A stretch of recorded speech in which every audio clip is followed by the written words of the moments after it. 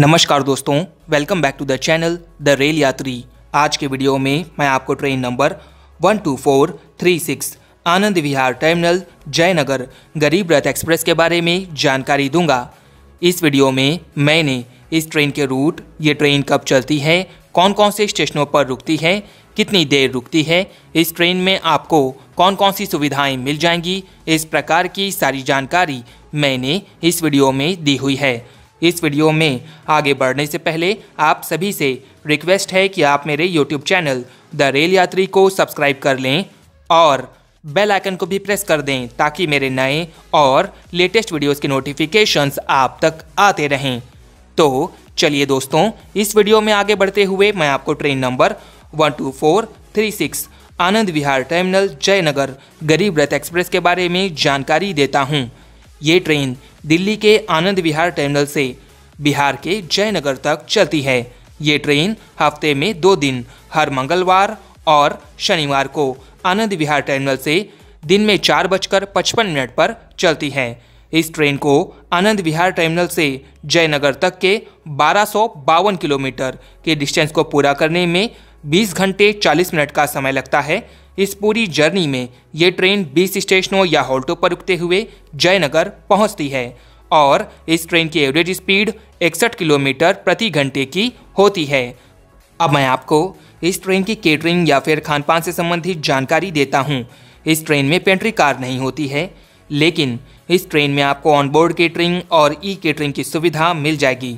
इस ट्रेन में आपको दोनों टाइप के तत्काल प्रीमियम तत्काल और तत्काल की भी सुविधा मिल जाएगी। अब मैं आपको इस ट्रेन के लोकोमोटिव के बारे में जानकारी देता हूँ। ये ट्रेन दोनों टाइप के लोकोमोटिव, इलेक्ट्रिक लोकोमोटिव और डीजल लोकोमोटिव से चलती है आनंद विहार टर्मिनल से जयनगर तक।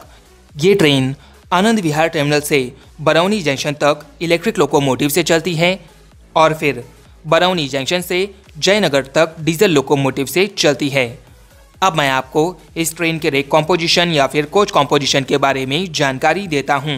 इस ट्रेन में 18 थर्ड एसी क्लास वाले कोच इस ट्रेन के रेक कॉम्पोजिशन में होते हैं और किसी भी दूसरी श्रेणी का कोई भी कोच इस ट्रेन के रेक कॉम्पोजिशन में नहीं होता।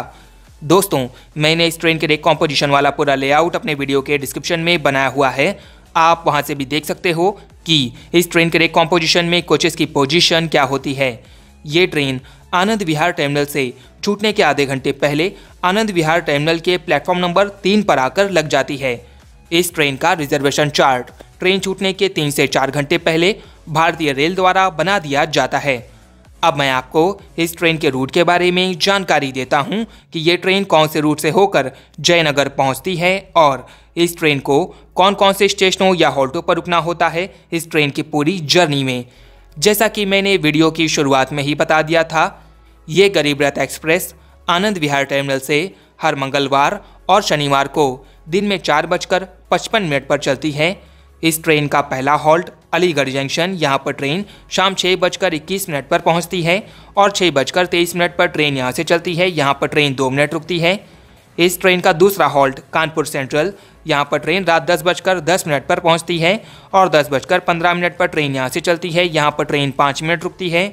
इस ट्रेन का तीसरा हॉल्ट इलाहाबाद जंक्शन। यहाँ पर ट्रेन रात बारह बजकर चौदह मिनट पर पहुँचती है और बारह बजकर सोलह मिनट पर ट्रेन यहाँ से चलती है। यहाँ पर ट्रेन दो मिनट रुकती है। इस ट्रेन का चौथा हॉल्ट पंडित दीनदयाल उपाध्याय जंक्शन।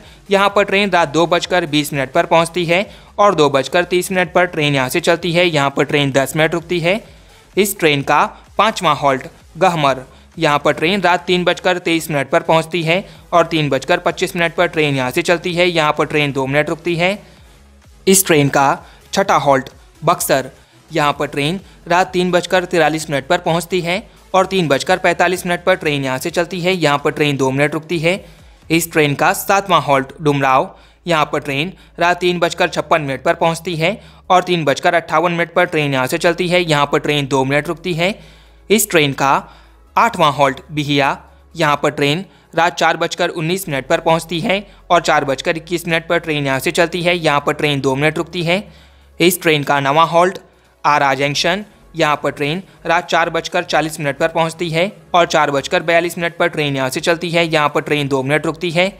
इस ट्रेन का दसवां हॉल्ट, दानापुर, यहाँ पर ट्रेन सुबह पाँच बजकर सत्रह मिनट पर पहुँचती है और पाँच बजकर उन्नीस मिनट पर ट्रेन यहाँ से चलती है। यहाँ पर ट्रेन दो मिनट रुकती है।